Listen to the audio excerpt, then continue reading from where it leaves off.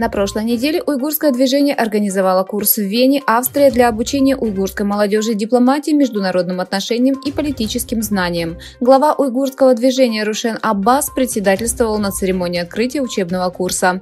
В церемонии приняли участие президент Всемирного уйгурского конгресса Долкун Иса, директор Центра уйгурских исследований Абдулхаким Идрис, президент Австрийской ассоциации уйгуров Мивлан Делшат, член парламента Австрии Гудрун Куглер, член независимого парламента Марта Бисман, член местного парламента Вены Соип Акпынар, сотрудники посольства США в Вене, представители посольства Японии, президенты Федерации турецких организаций в Австрии, президенты Федерации исламских организаций Австрии и другие интересующиеся уйгурскими вопросами.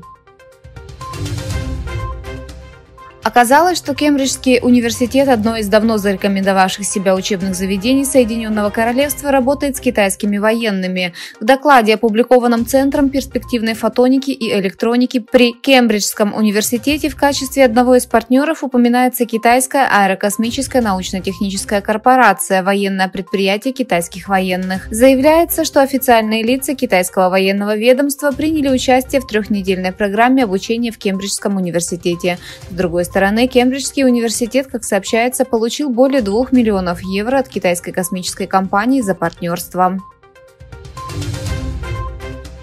Китай решил запретить использование iPhone в госучреждениях. Пока не ясно, насколько инклюзивным является это решение. Как сообщает Wall Street Journal, со ссылкой на источники, близкие к этому вопросу, запрет на использование этих устройств был наложен на сотрудников их старшими менеджерами в последние недели, но пока не ясно, насколько инклюзивным является это решение.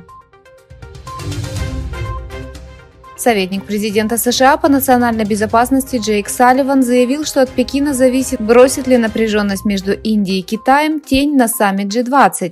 На пресс-конференции Салливан обсудил напряженность между Индией и Китаем в преддверии саммита лидеров G20, который состоится в Индии 9 и 10 сентября. Что касается влияния напряженности между Индией и Китаем на саммит, Салливан сказал, это зависит от Китая. Если Китай захочет, есть возможность вмешаться и сыграть роль игрока, меняющего правила правила игры.